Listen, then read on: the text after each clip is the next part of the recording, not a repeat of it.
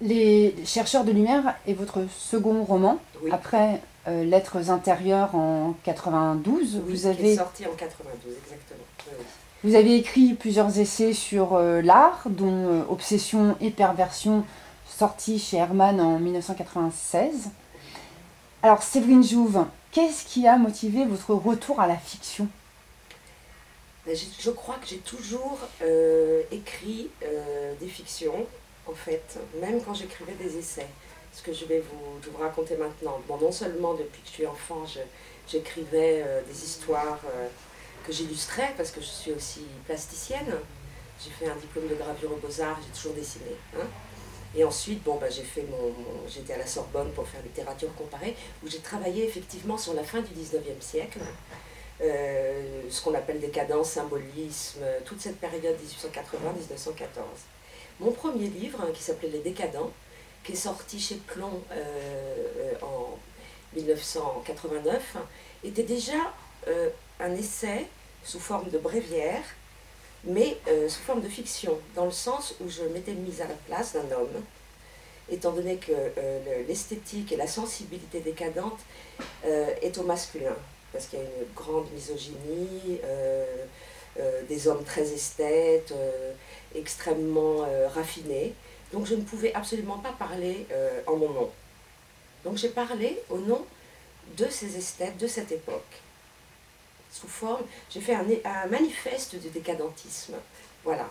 Contre la nature, pour la nature, contre la femme, pour l'androgyne, contre la modernité, mais pour la modernité, parce que ils ont quand même, c'était une civilisation extrême, hein, tous ces auteurs comme euh, Huysmans, euh, avec le héros des Esseintes, euh, tous ces auteurs d'Annunzio, etc., euh, qui ont été très très loin, donc dans des recherches esthétiques, parfois une langue extrêmement surannée, on peut penser aussi à Huysmans, mais très recherchée, mais très forte. hein. et ils sont arrivés à une avant-garde. Voilà. Et le livre Obsession et Perversion, en fait, est un livre sur toutes ces maisons euh, qu'ils ont décrit dans leur livre, parce qu'il y avait un grand euh, engouement euh, pour l'esthétisme, l'intérieur, etc. Donc j'ai parlé aussi bien de maisons fictives.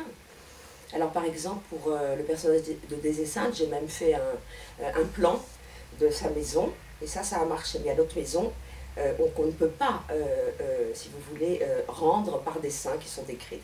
Et les maisons qui ont existé, comme celle du peintre Fernand Knopf qui a été détruite, qui était une maison extrêmement moderne. hein. Donc euh, voilà, c'était assez intéressant. Et euh, donc la fiction a toujours été là. Et L'être intérieur, euh, qui a eu donc le prix Villa Médicis sur les murs, est un texte très, comment dire, personnel, d'une femme qui décide d'offrir sa solitude à l'homme qu'elle aime, donc qui, qui va pour écrire, qui est scénariste, qui va pour écrire euh, un roman pendant que lui est à Florence, que je ne connaissais pas à l'époque, donc ce qui est très drôle parce que j'y habite depuis 20 ans. Et j'ai épousé un Italien, donc euh, voilà. Et euh, elle va dans cette maison toute seule, elle décide de faire ce qu'on ne fait jamais, c'est-à-dire d'offrir à l'homme qu'on aime 21 jours, 21 lettres, 21 nuits de sa solitude. Tout ce qu'elle pensait quand il n'était pas là, voilà, espèce de don suprême qu'elle lui donnera comme un livre à la fin. Des moments où il n'est pas là, mais où elle pense à lui. Donc elle n'arrive pas. Elle était partie pour écrire un roman, mais à un moment, elle se dit cette chose très simple. Elle se dit pourquoi parlerais-je de quelque chose qui ignore mon sentiment? Autant parler de lui. Et aujourd'hui, les chercheurs de lumière, euh, c'est une euh, recherche, euh, euh, comment dire, euh, so- solitaire également. Oui, euh, parce que c'est une. Là, c'est Chercheurs de lumière, Révolution minuscule. Ce sont trois récits de trois artistes qui se trouvent un peu à une crise de leur existence. Il y a un personnage qui est toujours dans le fond, qui s'appelle Louis Montalto, qui est un poète, qui les connaît, qui est une espèce de référence, qui est un peu une métaphore aussi de, de- l'obstination euh, euh, que doit avoir l'artiste pour continuer euh, et se soucier de son œuvre, parce qu'il y a le souci de l'œuvre à faire. D'accord? Et donc, il y a donc une femme écrivain, une, une, une femme peintre, et un, virtuose musical qui lui viendra à la, composition. Il cherche, il se retrouve dans des situations un peu décalées, si vous voulez, où euh, l'une, euh, euh, Suzanne va revoir, va revoir sa grand-mère avant de partir pour l'Italie. C'est peut-être le plus autobiographique que ça m'est arrivé avant de partir pour le prix. Et elle a une fulguration. Elle rentre à Paris après devant un tableau de, de Munch. Ça, c'est mon histoire. C'est-à-dire que moi, j'étais au Beaux-Arts à l'époque. Et euh, c'est mon histoire, enfin. Je veux dire, il y a des choses inventées. Mais ça, c'est une chose qui, qui, est vraie. Je suis allée voir une exposition qui s'appelait Lumière du, du, Nord au Grand Palais. Euh, c'était en 92, je crois, ou 94. Et euh, je suis tombée en arrêt devant euh, une peinture de Munch qui s'appelle le, clair de lune. Qui est l'illustration du roman. Voilà, qui est l'illustration du livre. Et ça a été quelque chose de fulgurant pour moi. Donc, révolution minuscule, c'est ça. C'est au niveau individuel, c'est-à-dire que les autres ne voient pas forcément, mais qui changent complètement votre vie. C'est-à-dire à partir de ce moment-là, quand j'ai vu ce tableau, j'ai décidé que j'allais écrire, j'étais m'inscrire à la Sorbonne. D'abord, je suis rentrée chez moi, je n'ai pas mangé, j'ai pas bu. Je me suis mis à lire le catalogue et j'ai commencé à écrire. Donc, cette femme sur le tableau m'a parlé, où il y a eu quelque chose. Il y a eu quelque chose. Il y avait beaucoup de foule, je me souviens. Si vous voulez, je peux vous lire un tout petit passage. Avec plaisir. Donc là, je suis dans l'exposition. Puis il, y eut, puis il y eut comme un dégagement, un reflux vague, un reflux de vagues. La formation serrée des nuques se disloqua. Et soudain, Face à une figure peinte, je me sentis exclu, défalqué de la somme. L'espace glisse autour de moi et les autres, étrangers à ma stupéfaction, disparaissent. Soustraite à la mécanique humaine, je ne suis plus qu'un mouvement intérieur, prémisse d'une aurore après le clair de, de lune. Une jeune femme vêtue de noir regarde fixement en dehors de la toile, sans esquisser le moindre geste. Peinte aux trois quarts de sa hauteur, les bras croisés derrière le dos. Elle fait face au spectateur.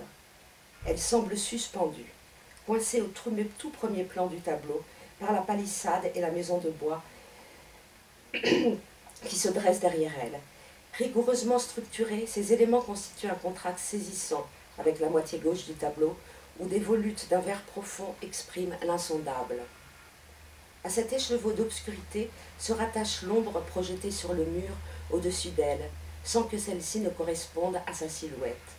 Au devant de la masse sombre se découvre alors l'esquisse d'une épaule dans les tons rouges, les contours à peine identifiables d'un second personnage. Pareil à la lune qui se reflète sur les vitres de l'unique fenêtre, le visage fantomatique de la femme, semblant tout à la fois surgir et s'enfoncer dans le bouillonnement sourd, irradie dans le noir. L'immobilité anxieuse et la violence contenue sont inouïes. Voilà, donc c'est un moment vraiment de stupéfaction. Voilà, euh, comme si j'entrais dans ce tableau. Et c'est en fait révolution euh, minuscule qui nous arrive personnellement, donc pour ça minuscule, parce que les autres n'entrent pas, est une révélation majuscule pour soi. Voilà. Je me disais à l'instant que votre livre était euh, une potentielle révolution minuscule et majuscule pour son lecteur. Et euh, dans, dans, dans, votre roman, vous, vous, citez Jacques Dupin, oui. Euh, à qui vous le dédicacez d'ailleurs. Oui, c'était mon parrain et mon père spirituel et quelqu'un qui a toujours suivi mes écritures, un immense poète. Oui, oui. Et lorsque vous le citez, donc, euh, vous, je, lis, hein, écrire, mais en péril un autre que soi. Est-ce que vous vous retrouvez dans ces mots de Jacques Dupin Oui. Euh, écrire met en péril un autre de soi. Alors là, on touche à quelque chose de très important. Euh, pour la personne qui écrit vraiment, c'est-à-dire qui n'écrit pas pour elle, qui ne se contente pas de faire un journal intime, etc. Pourquoi pas, ça c'est autre chose, mais qui écrit pour donner aux autres. Donc il y a une responsabilité dans l'écriture. On n'écrit pas impunément. Euh, c'est une grande responsabilité parce que euh, on, écrit pour l'autre, pour le lecteur, et il faut qu'il reçoive ce que l'on veut dire. Et il faut faire attention euh, à la manière dont il le reçoit. euh, il faut essayer de, de, de, lui faire traverser nos angoisses, nos tumultes, mais aussi nos émerveillements. Donc, mettre en péril. Alors, il faut reprendre ce terme de péril. Alors, je pense qu'un bon livre frappe. Un bon livre frappe profondément. Tout d'un coup, on rencontre une phrase. moi, je pense à des gens comme qui ont été très loin, comme Maurice Blanchot, etc. Bon, euh, on peut en citer plein d'autres, Proust, enfin tous les gens qui... Euh, euh, on est frappé, on est parfois jusqu'au choc, parce que ça remue en vous quelque chose de très profond. Donc avec cette émotion qui est parfois énorme, qui vous submerge, il faut arriver à la focaliser. Donc ça peut être dangereux aussi pour certaines personnes. Mais en même temps, euh, euh, ce péril, je veux dire, on est, ce que veut dire Jacques Dupin, c'est j'écris, je donne, je peux être brusque, je peux être cru, je peux employer des mots extrêmement forts et euh, qui mettent mal à l'aise, mais si vous suivez, vous comprendrez que ça ne peut pas être un autre mot. Donc je suis entièrement d'accord. On écrit avec la responsabilité de dire des choses, mais on sait on a des choses à passer et on doit les passer dans la plus grande sincérité. Comme en amour? Absolument. Comment? En amour. Absolument. J'ai bien compris.